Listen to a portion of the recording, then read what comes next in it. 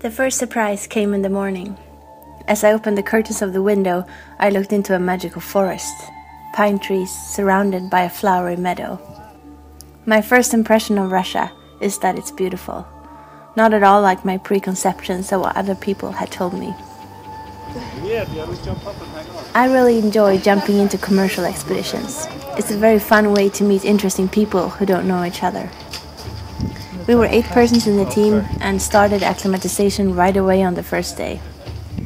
The body needs time to get used to altitude. We had different hikes in the surroundings up to 3,100 meters, where I got also got happily surprised at how beautiful the area was.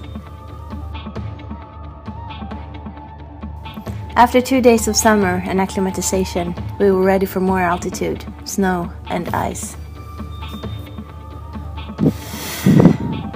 We had another few days of acclimatization to the higher altitudes before getting ready for the summit attack.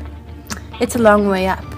We started at 3,750 meters and will do 1900 altitude meters up in one single push to the summit at 5,642 meters.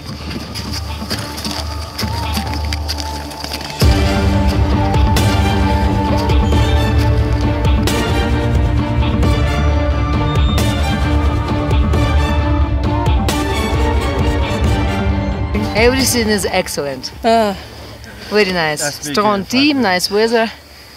We will be lucky on summer day. cool. in the middle of the night.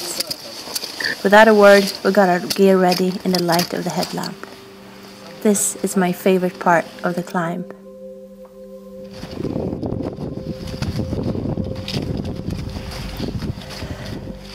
The night was black and soft as velvet. Some stars glittered between dark clouds. Underneath the black sky was me and four men slowly walking upwards, alone on the mountain.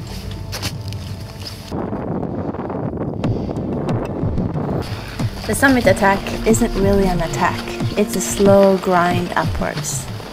It's about saving energy to reach the summit and get down again.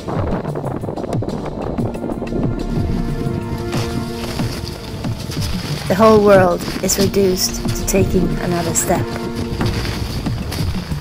It's an otherworldly and beautiful experience.